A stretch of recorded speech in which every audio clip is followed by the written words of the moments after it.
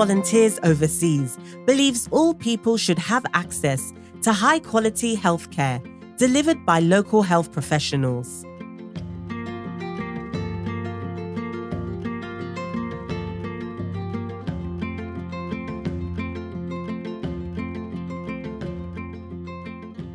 HVO has been training health professionals in resource challenged countries since 1986. Every year, HVO volunteers educate and mentor more than 3,200 professionals worldwide across specialties in medicine, surgery, nursing, rehabilitation, and oral health. HVO's investment in people has had a lasting impact around the world. In Nepal, the oral health situation was not so good. There were very few dentists. For the period of nine years, we have received so many wonderful volunteers through HVO. They taught us academically as well as they gave us the skill in our hand. Last year, we served 50,000 patients. During the HVO volunteer visit, they taught us both theoretically and practically. Implementation of four-handed dentistry brought a lot of changes in our clinical practice as well as the patient care. Local professionals gain critical skills and knowledge to improve care in their communities. Cualquiera puede venir a dar una a dar una charla o a dar un curso y no necesariamente es una persona que tenga todas las competencias necesarias para esto. Tuvimos un apoyo muy fuerte de HBO a hacer convocatorias solicitando eh, especialistas. HVO volunteers help build sustainable health workforces. Uh, 2006, I went to Malawi. One day I was in a meeting with all the pediatric residents. Had a chance after the meeting, sitting around with the residents, to talk to them about the volunteers, the input that the volunteers provided. Was asking them questions about the value of the program. One young man reached into his pocket and pulled out a well folded piece of paper. He said, Oh, your volunteers are very valuable. And he unfolded this piece of paper, which was a protocol, something related to newborn children. And he said, Dr. Weiss was here two years ago, and she gave us these various protocols, handwritten, and we made copies of them, and we all still have them, and they've been handed down. We hand we give them to the new residents. And I thought that was a pretty amazing legacy.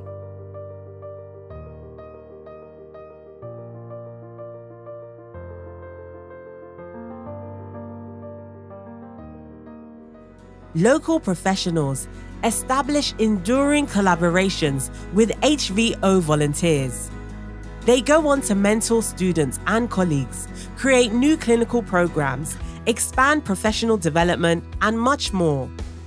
La educación virtual nos permitieron a nosotros llegar a más personas y sobre todo llegar a personas que están en lugares alejados. Estos cursos, por ejemplo, el de síndrome postcuidados intensivos, a mí me ayudó muchísimo. Ya no solo en Ciudad de Guatemala, pues tuvimos personas en comunidades rurales también fuera del país de Guatemala. Eh, tuvimos participantes de Honduras, de El Salvador, de Nicaragua.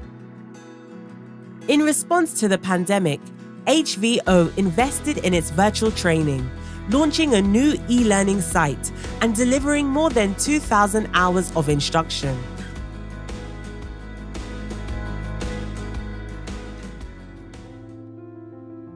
Together, HVO and its partners around the world are shaping a future where everyone has access to high quality healthcare delivered by local health professionals.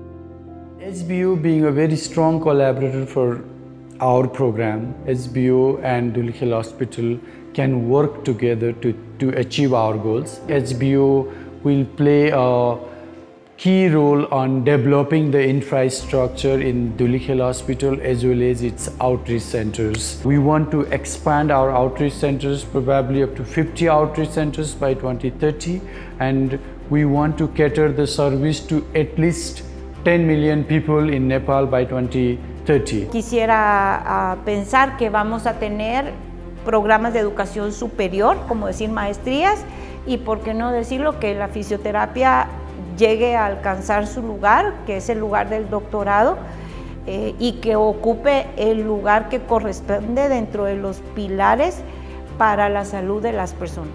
Nepal is a developing country. We do not have easy access to new technology, techniques and skills. I want to learn more these skills, improve techniques and transfer those to my uh, fellow dental assistant in Nepal. There will continue to be a need for volunteers who have knowledge and skills and an interest in sharing We've gotten more and more requests for non clinical support, management, leadership training, administration, quality assurance.